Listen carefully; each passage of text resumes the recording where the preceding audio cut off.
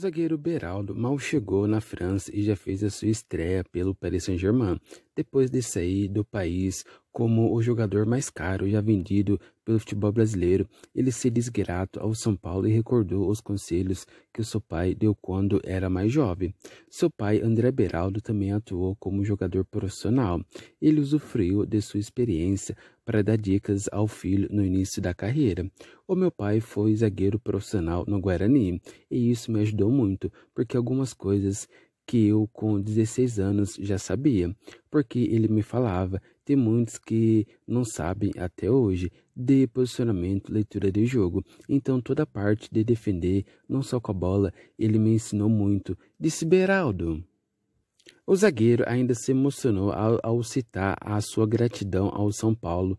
O clube do Morumbi o acolheu em 2020 após ele ter defendido o 15 de Piracicaba.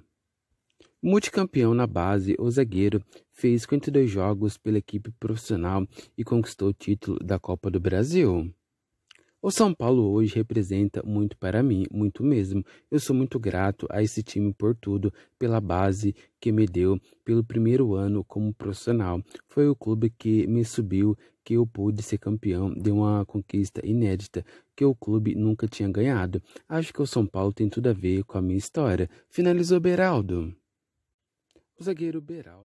O Mineirão vai receber a Supercopa do Brasil entre São Paulo e Palmeiras no dia 4 de fevereiro, depois de não avançar em negociações para levar o clássico para o Maracanã. A CBF optou pelo estádio administrado pela Minas Arena.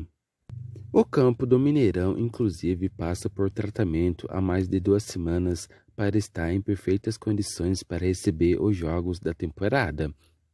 São Paulo e Palmeiras pediram para disputar o jogo no Maracanã pensando na facilidade de logística, uma vez que a taça será disputada pelo Campeonato Paulista em andamento.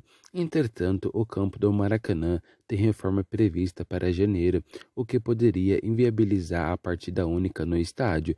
O Parque do Sabiá, em Uberlândia, era outro candidato.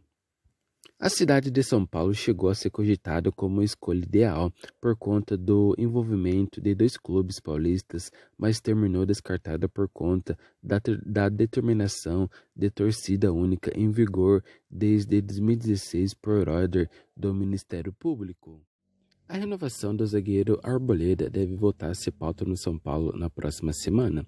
O empresário do jogador Pepe planeja uma vinda ao Brasil dentro de alguns dias para se reunir com Rui Costa, executivo de futebol do São Paulo. A ideia do tricolor é renovar o contrato do jogador, que hoje é válido até o fim de dezembro, por mais duas temporadas com término ao fim de 2026.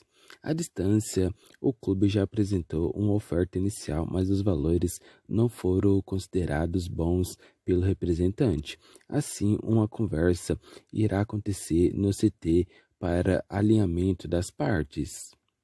Depois das férias, Arboleda se reapresentou no Esteira Barra Funda dois dias depois dos companheiros. O São Paulo oficialmente diz que a data foi alinhada previamente. No retorno, aliás, o presidente Júlio Casares postou uma foto com o jogador e valorizou a sua importância. O São Paulo espera um desfecho positivo das negociações e não teme perder o jogador, apesar da possibilidade de Arboleda assinar um pré-contrato contra o clube e sair de graça a partir do meio do ano. Além de Arboleda, o clube também negocia uma renovação contratual com o zagueiro Diego Costa.